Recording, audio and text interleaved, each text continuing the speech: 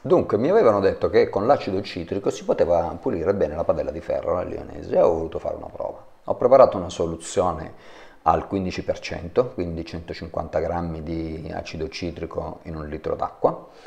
e ce l'ho lasciata dentro eh, 4-5 ore, mm, o meglio, ho preso la soluzione, l'ho messa dentro una padella fino all'orlo e l'ho lasciata così.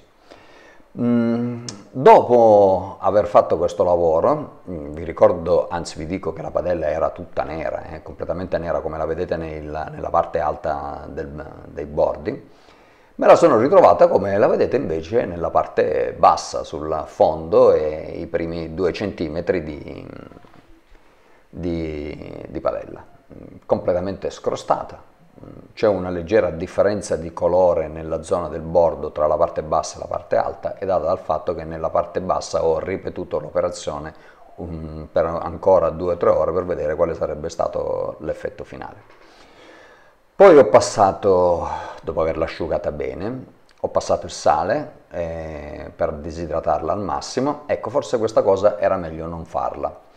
eh, perché? Perché me la sono trovata leggermente ossidata, come se non l'avessi pulita bene prima di, asciugata bene prima di passare il sale, probabilmente qualcosa è rimasto, non lo so. Fatto sta che mh, mm, mi piaceva mh, mm, di più prima e alla prima occasione ripeterò nuovamente l'esperimento, cioè non passerò il sale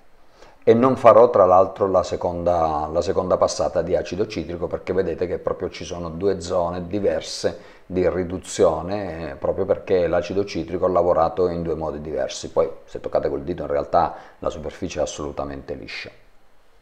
La parte nera, la parte nera che vedete invece nelle zone alte, ecco quella lì è la parte di patina un po' più coriacea, cioè lì anche sotto le dita si sente che c'è un, un, po' di spessore, si sentiva anche prima, cioè lì temo che l'unica cosa per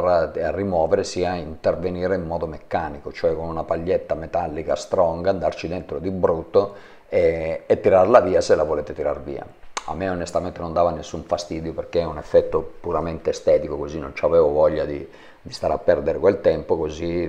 l'ho lasciata. Poi naturalmente ho passato olio.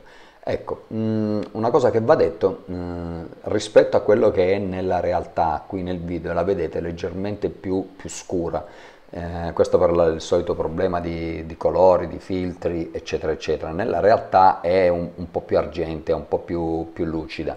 Inoltre l'olio di camelia tende a un leggerissimo iscurimento del, delle superfici. Mm, d'altro canto io preferisco passarcelo perché naturalmente la voglio tenere in, in, in buone condizioni, che non si, ossida e, che non si ossidi e l'olio di camelia sotto questo aspetto è perfetto, soprattutto se voi pensate di non usarla per un, per un bel po', se invece la usate tutti i giorni basta il normale olio di girasole come ho già detto più volte.